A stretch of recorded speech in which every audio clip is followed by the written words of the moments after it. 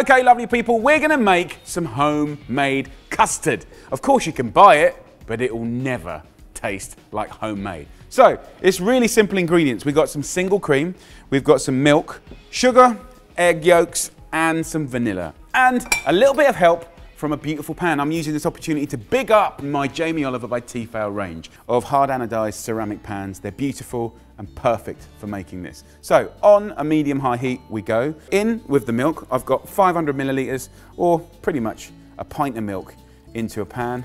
This will make enough custard for six to eight people, depending on how generous you are. I'm gonna go in with 500 mils to 600 mils of cream here. Now, traditionally you'd use double cream. I'm just making it a little bit more skinny with single cream.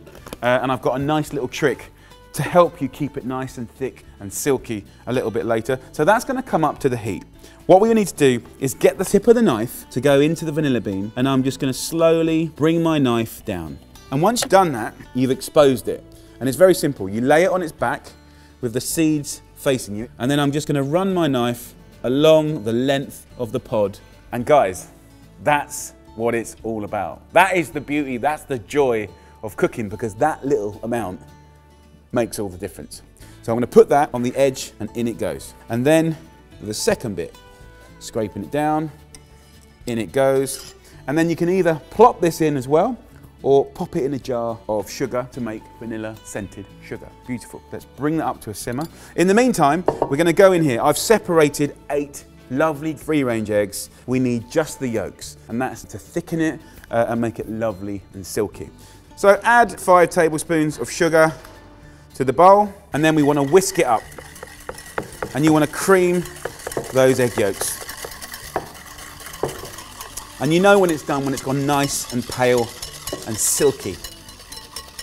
Now, if you want to kind of do what I've done and use a single cream, what you can do for a nice little trick is use just a teaspoon of corn flour. And what that does is just work with the custard to make it silky and to thicken it beautifully. So of course, if you go for the double cream, you don't need it. If you go for the single cream, it really helps to get the same consistency. So in it goes, you'll whisk it in, no lumps at all. We're gonna let this just simmer away in the saucier for about five minutes, just to get all of that flavor out of the vanilla, and then I'll show you the next bit. What we want to do in a custard is not just make something sort of sweet and vanilla and delicious, we want it to be silky and smooth. So we do that by taking a little bit of the hot milk to the eggs first and pouring that in there. Just about, you know, a splash of it and then whisking it in.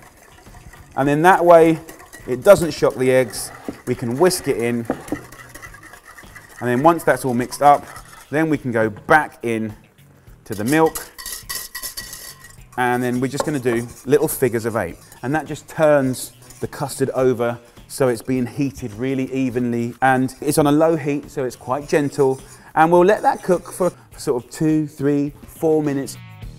Okay, so the custard is done and what better to serve with custard than a gorgeous apple crumble. Come on, but before we go there, come and check this. I like to test it by checking the back of a spoon, putting your finger through it like that and if you hold it, if it doesn't run, perfect. A lovely, lovely consistency. So, absolutely delicious, a classic. If you want the recipe, go to jamieoliver.com and check it out. Let's go to the corner. This is my favorite bit because you get double crispy bits. And of course, then you want your beautiful custard. Silky smooth, full of flavor from the vanilla. Absolutely beautiful. So, lovely people, if you want to know more about my gorgeous Tefal range, then look in the information box below and check it all out. It's an amazing range, really lovely to cook on. And the custard, well, enjoy.